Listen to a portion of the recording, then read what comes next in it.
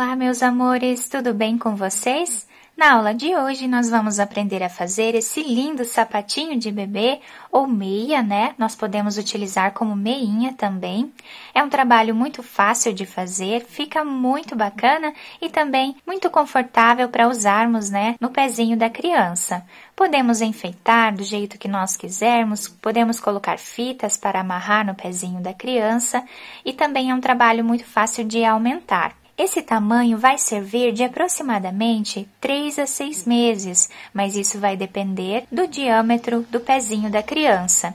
Aqui no vídeo eu vou utilizar essa linha, a tex dela é 295.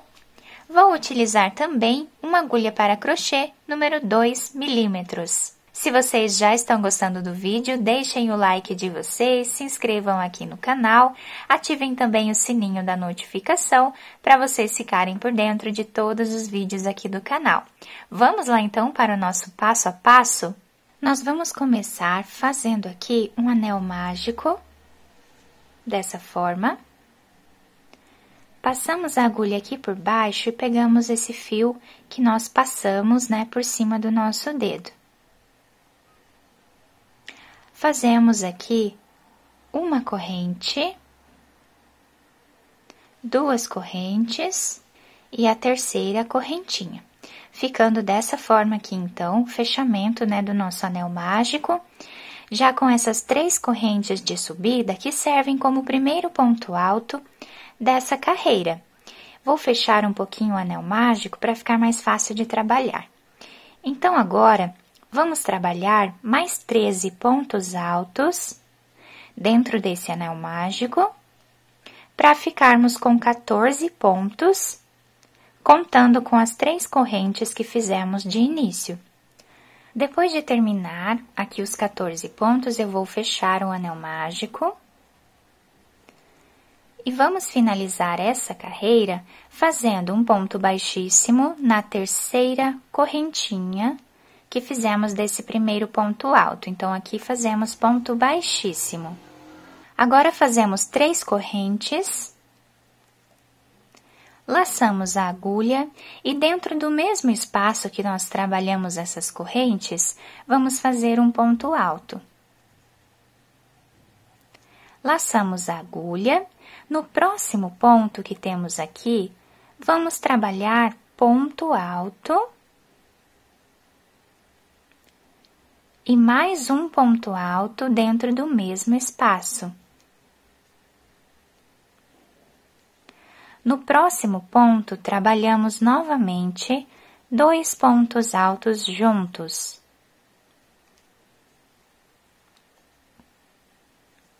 E assim nós vamos seguir fazendo por toda essa carreira. Dois pontos altos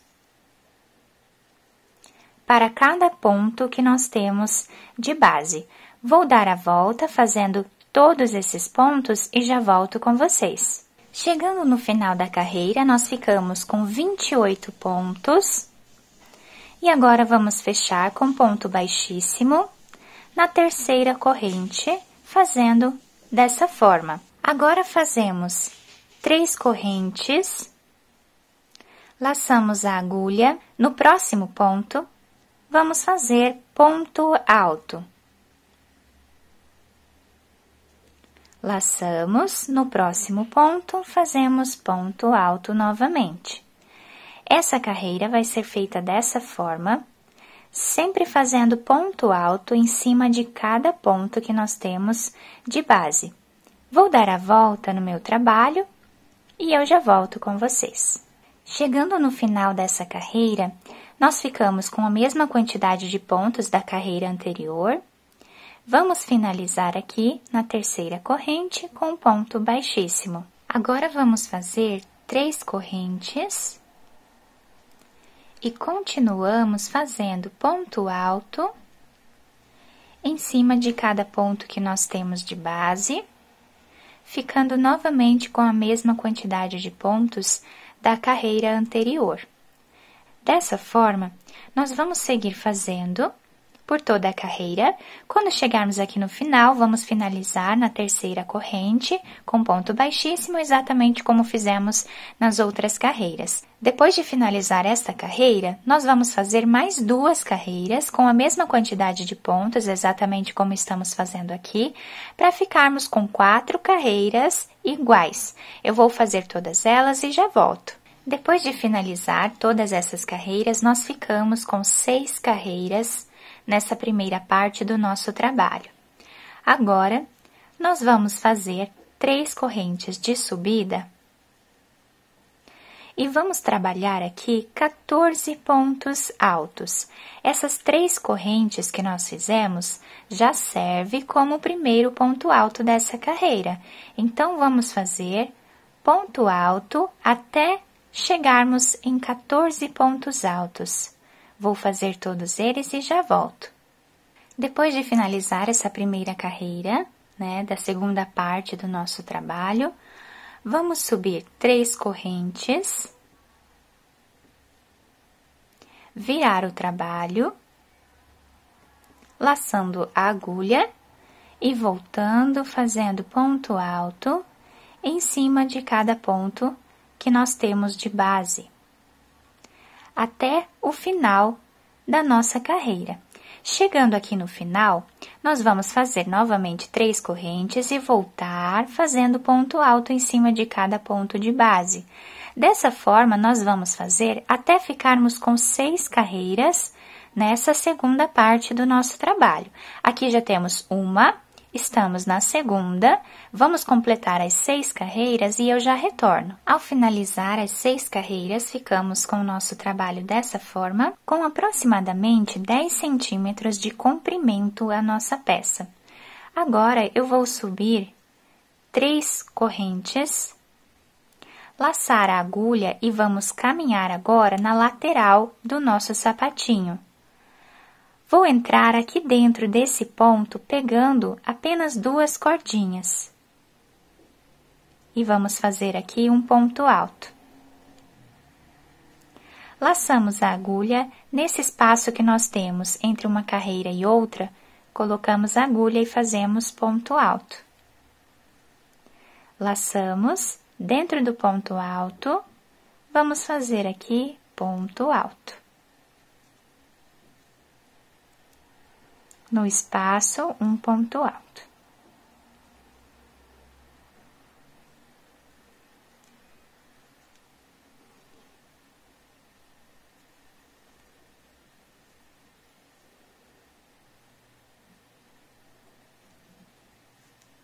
Eu não vou fazer o ponto alto pegando aqui embaixo, nesse espaço maior, porque senão nós separamos muito os pontos.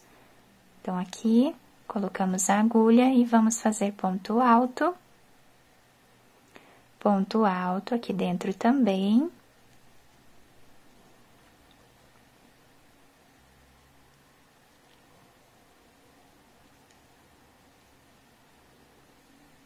Laçamos a agulha e agora nós vamos trabalhar da seguinte forma. Vou colocar aqui o meu fio e vou fazer metade do ponto alto, tá? Nós não vamos finalizar ele. Laçamos, aqui dentro desse espaço, nós vamos colocar a agulha e vamos novamente tirar metade do nosso ponto. Laçamos novamente e em cima desse primeiro ponto que nós temos aqui, que é o primeiro ponto que nós não trabalhamos nesta carreira, vamos colocar a agulha e vamos fazer metade do ponto alto novamente. Ficamos aqui com quatro fios na nossa agulha. Agora laçamos e tiramos todos juntos dessa forma.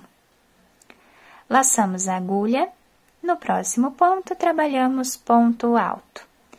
E agora vamos fazer ponto alto em cima de cada ponto de base, até chegarmos no final dessa carreira onde vamos deixar livre esse último ponto que nós temos aqui, para nós fazermos exatamente o que fizemos desse lado. Chegando nessa parte, vamos repetir o que fizemos do outro lado. Então, laçamos a agulha, nesse ponto colocamos e fazemos metade de um ponto alto.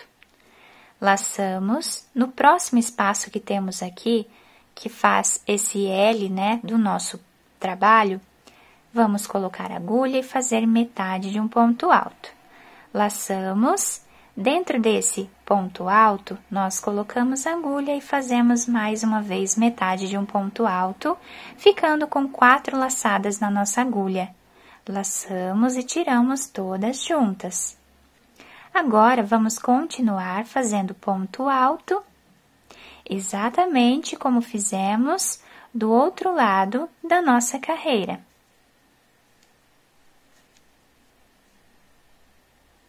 Ponto alto em cima de cada espaço que nós temos. Vou fazer até o final e já volto. O último ponto da carreira vamos fazer em cima desse espaço que nós temos aqui depois desse penúltimo ponto de base. Aqui nós fazemos ponto alto, dessa forma. Agora fazemos três correntes, laçamos a agulha e viramos o trabalho.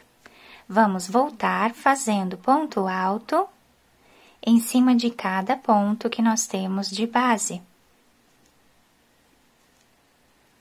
Chegando aqui no cantinho, eu volto com vocês. Chegando aqui no canto onde nós fizemos aquelas diminuições, nós vamos fazer novamente mais uma diminuição. Laçamos a agulha no próximo ponto que dá exatamente nessa carreira aqui, ó, que é a segunda carreira da segunda parte do nosso trabalho.